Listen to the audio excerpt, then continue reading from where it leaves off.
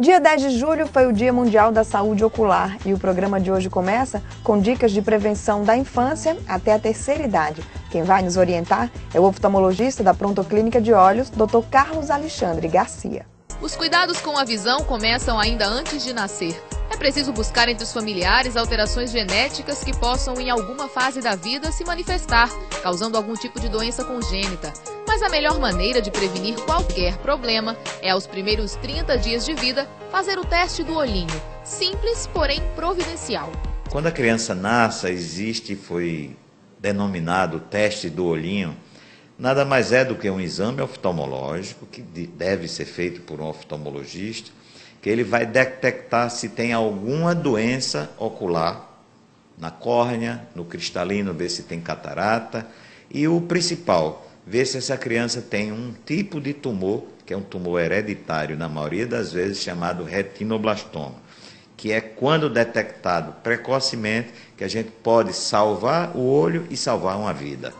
Em idade escolar até a adolescência é indicado fazer exames anuais que identifiquem distúrbios visuais. Um aluno que não enxerga bem tem os resultados refletidos nas notas na escola. Passada essa fase, inúmeros fatores podem causar problemas à visão.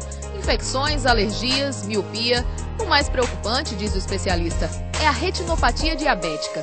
Nada mais é do que alterações vasculares na retina e alterações vasculares essas que podem levar a uma diminuição da visão e até uma cegueira. Hoje, retinopatia diabética é a maior causa de cegueira entre as pessoas de 25 a 70 anos de idade.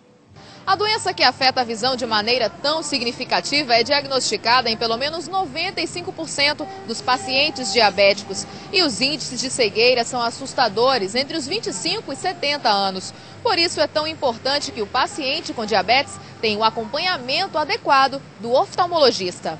Existem dois tipos de diabetes. A diabetes tipo 1, que a gente chama infanto-juvenil, que esses pacientes devem fazer exame com 5 anos do diagnóstico da, da diabetes, fazer um exame ocular.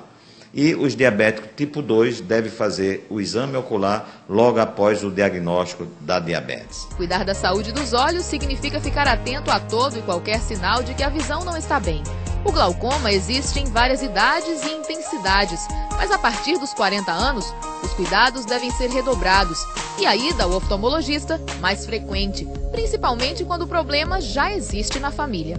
Toda pessoa a partir dos 40 de, anos de idade deve medir a sua pressão ocular e a incidência dessa, da, da, do glaucoma vai aumentando em 1% a cada década.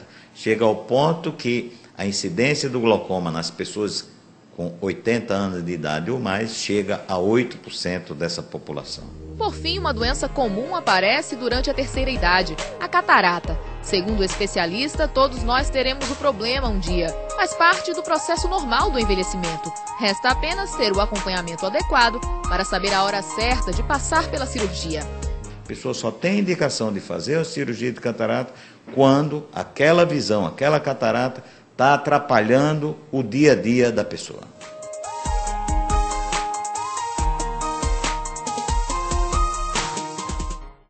As dicas foram dadas. Agora é só você seguir as orientações do Dr. Carlos Alexandre e cuidar da sua saúde ocular.